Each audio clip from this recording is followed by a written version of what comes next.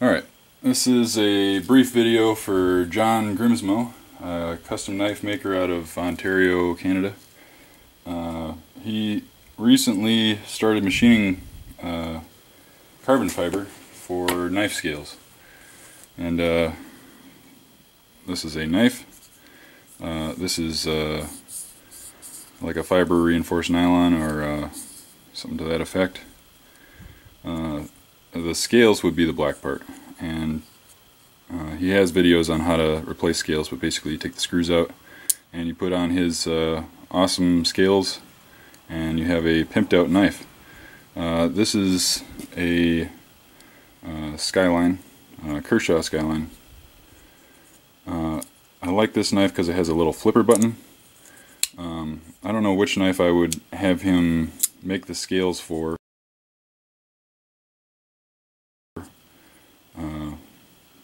But I also have a Benchmade, which is really nice. It's uh, got a CPM M4 blade and titanium handles.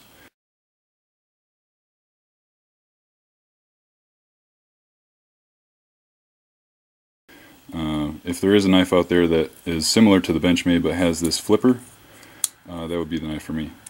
So this is carbon fiber. It would be used for the knife scales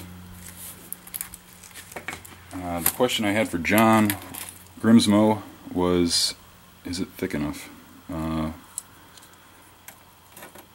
don't know if you can get this, but right, right over here it's about 80 thousandths. So, uh, a word on this carbon fiber, it's uh, it was made for runners, uh, which are blades for ice boats.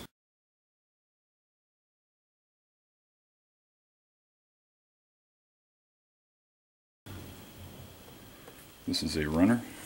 It's 30 inches long. We also have 36 inch. It's a 440 stainless uh, insert blade, which is three inches tall. And you can see in the back how tall it is. Okay.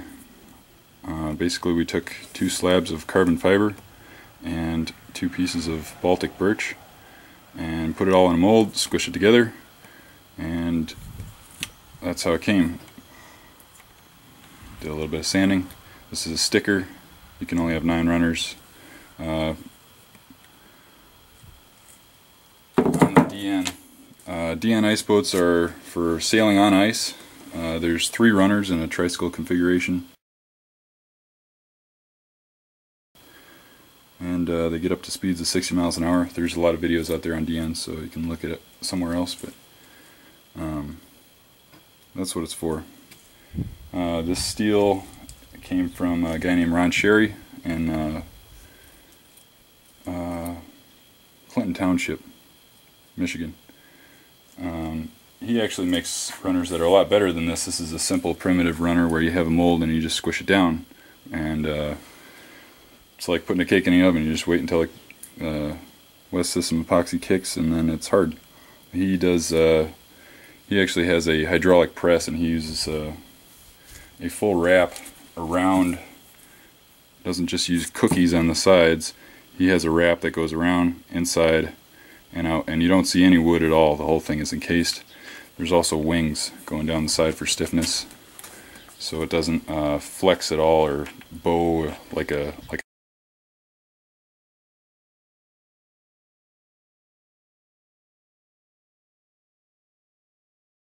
a string. Doesn't vibrate at all. And uh, we used uh, the West System uh, 105 and 206 uh, epoxy and then we put a couple coats of that 207 and 105 on top. That's a UV resistant uh, clear. Meade and Jan Gougeon are good guys. They're uh, out of Bay City, Michigan. They make some of the best epoxies in the world. Uh, the the uh, 105 series is uh, can be hardened at about a 70 degree temperature. They also make uh, Brothers Incorporated makes a uh, Pro Set, which is a heat curable. You have to uh, get it up to at least 125 for it to kick.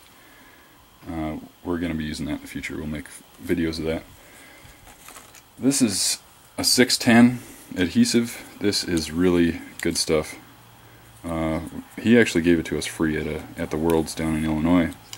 Uh, it was kind of a door prize. He's a nice guy. There's a mixing tip, and this is actually two-part epoxy inside there, and you squeeze it with a caulk gun, and it comes out already mixed, ready to go. So that is good for gluing up boats. If you're wondering what kind of boat I'm talking about, I'm take a little trip over here.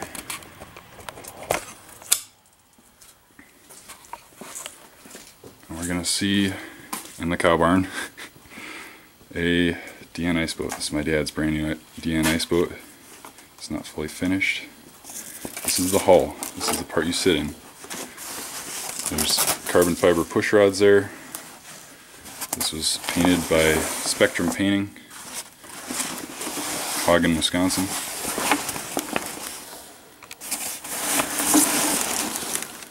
This is the